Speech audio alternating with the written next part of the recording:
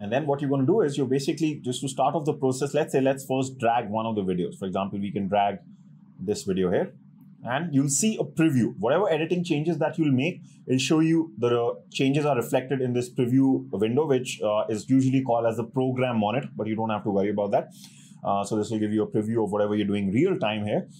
Uh, so let's say that I will put one more clip now.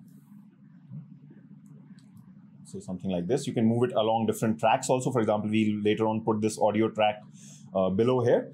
And you can, anytime you can zoom in and zoom out in this timeline. This part is called the timeline where the editing will take place. So I can just zoom in, zoom out, and this will just make it more, it'll expand the timeline basically. That's all. Okay, so you'll see more of the video. And this kind of helps when you precisely want to cut somewhere. So the first question is let's just play this video for a while, okay? So this video is going on, and let's say I go to the end part of this video. And the moment this ends, obviously the next video will start.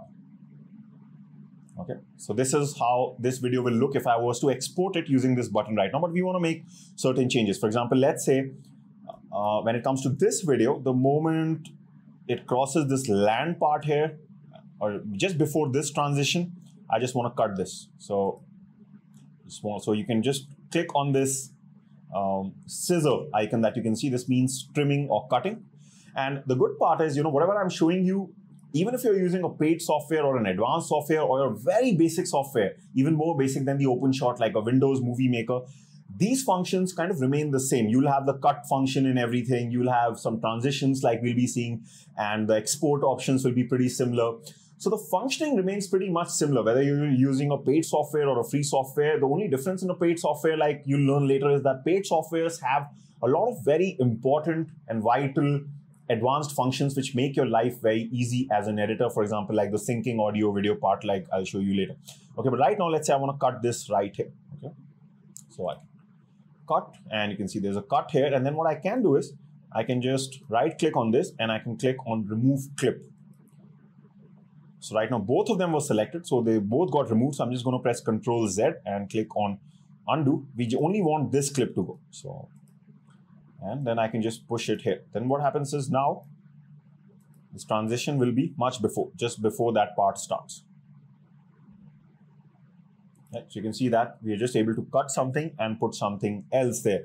Uh, let's put our third video also. Again, this is a very long video, you can see here. So what we can do is, so let's just play this video. Okay, now one important thing will be, this also has like this sound of this rain, right? Now, ultimately, we want to put this background music underneath that. And let's say we don't want this sound of this rain music or rain sound to come uh, on that. So we can, what we can do is, first of all, let's just cut this video, make it something smaller. So I'm to cut it here. And I'm just to make sure only this is selected. So wherever you see that red highlight means the clip is selected. I'm just to click on remove clip. Now, what I can do now is just make sure this you select this clip which has the sound. You can right click on it. You can go to volume and you can go to entire clip and you can go to level 0%. This, this basically means you're just muting whatever audio was embedded in this video. Okay, so the rain, the sound of the rain. Now if I play this, there'll be no sound. You can see it just disappeared immediately, right? Right now, before we put this audio, one thing that I want to do is I want to put some transitions between, so when these videos cut into each other, so you want to just put some transitions here, okay, so that they just look slightly more appealing.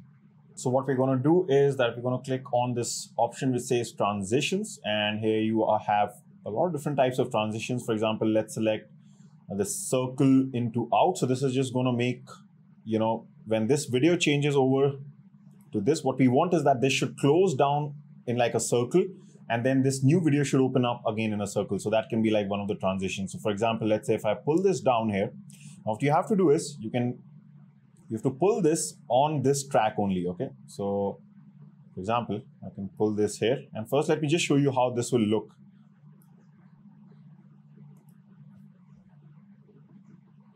Okay, so right now actually the opposite is going to happen.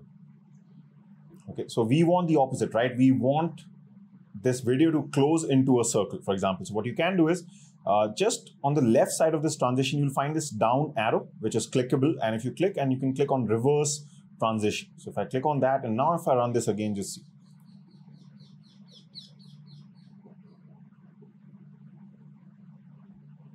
Right now, the only issue is this is too long. So what we can do is you can just drag these down. By the way, if you ever want to just shorten a clip, you can just do it by dragging also. For that, make sure that this magnet icon is uh, selected, which is called as snapping. Okay. And it's just very, it's an easy way to shorten or, you know, make something longer. And now, so what I want is I want this transition to end right where this clip is ending. So you'll see it sticks on its own. It's just, if I just drag it close to the end, you get this line and it just sticks. That's happening because of the snapping function, which is very uh, important in these cases. So again, just make sure this is ending here. And then what I want is I want another transition here, like the circle. And when the new clip starts, I want the reverse, that it should open up. So this time we can just drag it like this, the actual transition. We don't have to reverse it. Remember, this was how it was. So now make sure that this is at the end of the second clip and let's just run this. So this transition is finishes and the new transition just the new video opens up with the transitions. You can play around with these uh, things also. To be very honest, as a beginner, you know, uh, like for example in Premiere Pro, these are too easy to use. Here it's slightly more manual to use because you have to just do these changes. So as a beginner, it's up to you. You must have seen my courses. I hardly ever use transitions. You know, it's just a plain cut and it's okay. But I just thought that I'll show you. You have some additional effects also like uh, you have things like you can put a blur on the video and all i've actually never used it so uh, it's not going to be too important but let's just see how this will look yeah you can see the moment i put this blur so we've got that blur and i think i can remove this effect also so maybe at some point you want to blur something in your video or something so you can use this blur option and you have some other options also you can brighten up the video and all these things okay you can make it more saturated you can crop the video but right now, I want it to be proper, so I'm just going to remove this effect. So you can click, the effect comes right here. Just right click on it, remove effect, and it comes back to normal. Now what we want to do is we want to just add the video file that we have, which is the YouTube music library file we got, the got which is shattered parts, the song. So I'm just going to drag it on a separate track like this, okay? And let's just now this is song is too long. So what I can do is either I can go all the way and shorten this, or I can just first of all zoom out of this timeline a bit. That'll make it easy and just drag it to the length of these videos. Okay, something like this. And just that should be good. And okay, so we've got a song. Let's play this video now.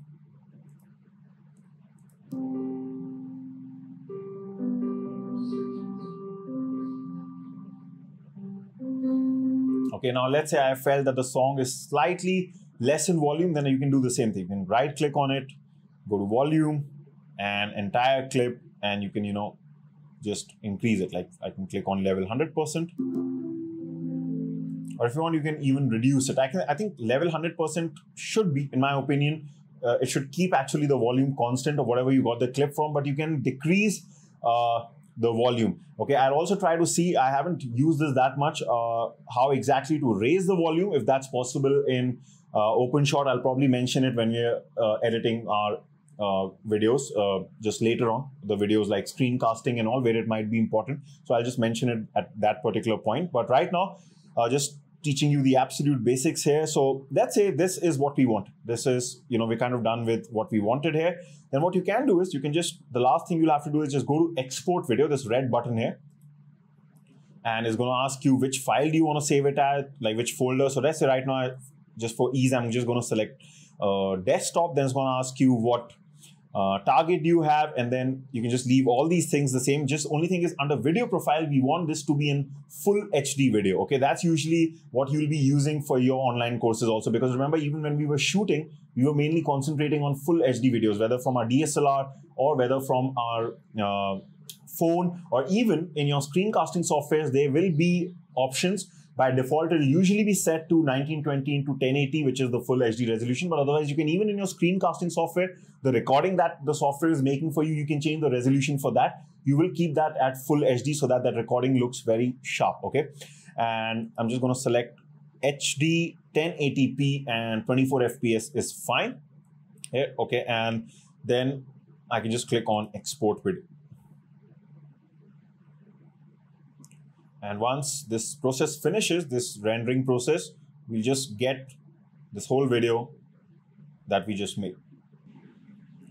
All right, so the process is just about to finish and let's check out our video. So I'm going to click on done here, go to my desktop where we have this video.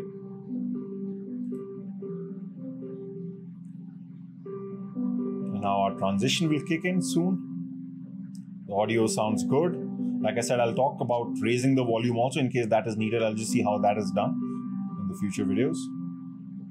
Boom. So you can see it's pretty easy to just create a very basic video. From the next video onwards, we are going to tackle more of our videos, screencasting and all these things, syncing and all. It's going to get a bit challenging, but the overall way to do things will still remain the same. So I'll see you in the next video. Bye for now.